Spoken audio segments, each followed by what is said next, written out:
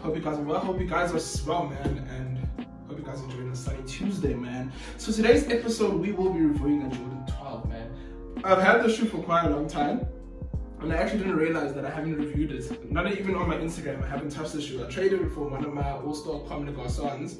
And hey man, it was it was I love it because I'm trying to the, the Jordan the Jordan collection I'm trying to own is from like one to thirteen.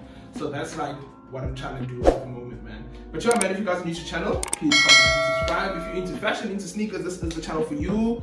Don't forget to drop my, my video a like if you like what you see. And guys, I've actually been getting a lot of like Twitter mentions on my on my on my Twitter asking if I could do it like how to spot fake shoes. Don't worry, I will do that video. I will get it to you guys.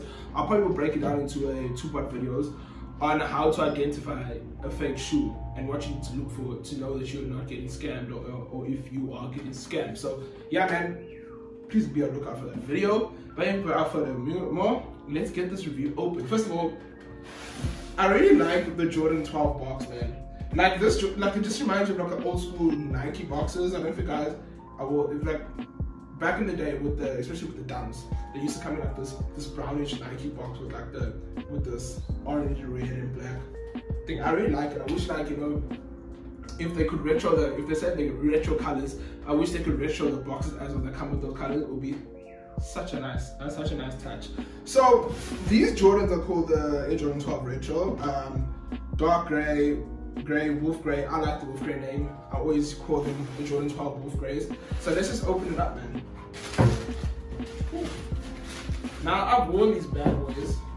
So said at the back when I when I picked the shoe up, I wanted to talk about is the, the quality of the shoe itself. The suede is so buttery, man. It's such a it's such a lovely shoe. And by the and this is probably one of the most comfortable Jordans I've ever worn. It's like when I walk in it, I can actually feel like the air units in the Jordan itself. So man, like like I said, like you know, this is a Jordan 12 um, this silhouette became popular, especially the flu game colorway, um, the black and red colorway, because Jordan played against the Utah Jazz when you had the flu or food poisoning or whatever you want to call it. But this Jordan 12 became popular because that, especially that colorway. I think it's the red and black colorway and the yellow color, yellow and black colorway that really made the shoe what it is, man. And yeah, I love this shoe. It's mad comfortable, true to size. I'm a 10, 10 UK. My foot wants to behave. Sometimes I'm a 9 anyways. Um, yeah, it fits perfectly, man. And just the suede on it is just so, so nice. The the material is made of suede and some like harder leather, you know, just by the toe box and stuff like that. I love the shoe so, so much. Um, when we break it down, you can see the soft, you can see the soft um, suede on the toe box. This is this is a full. This this shoe is one full shoe, so there's no like different compartments. So yeah, so you get the suede running around the toe box, around, around the whole shoe, and then you go up. I'm trying to figure out, it says TWO323, oh, 23. Oh, that's, oh, okay, that's pretty dope. Only noticed that now, so 2323 Jordan's number. Um, you okay, you got your normal, like, smaller rope labels. I like, like, the little gold pieces yeah that the laces go through that's pretty dope and then we look at the side of the shoe you get like this you can see the suede you can see the hard like leather with the Jumpman in this plastic material. Yeah, it's like a plastic material. And then we look at the midsole, you can see the plastic material and like the midsole is like hard. So you can't even push into it. It's like a hard, hard plastic. So I think this is for like just for better movement in the shoe and just to protect your foot from anything in the shoe. And at the back, you can see the pull tab. It has the Jordan logo with the 23. And you just, and you look at just, when you look at the outer sole of the shoe, you can see, mm, it has this glitchy, like grayish black thingy. Got the logo, the 23 logo, and just like yeah, man. Well, no, I I think it's a dope shoe. The gray color, you know what I've noticed about gray shoes. What I will say that's it's a bit annoying is that gray shoes. I thought it would be simpler to like find a, an outfit to rock with gray shoes, but it's not as simple as I thought. You know, gray shoes are kind of hard to to rock, but you know, just to have, it's a lovely shoe. But you know, when I do find a fit, I'll, I'll wear it with something.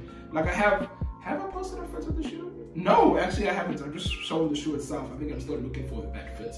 So where do I break this thing on the sneaker vault meter? Um, I think just because it's like a hard shoe to rock with the colorway that I have, and the quality carries it, I think I'll give a good 8 out of 10. This quality is mad on the shoe. I mean, like it doesn't get right out. Like in terms of like the quality still holds up really, really good. So it's a good 8 out of 10, very, very strong 8 out of 10.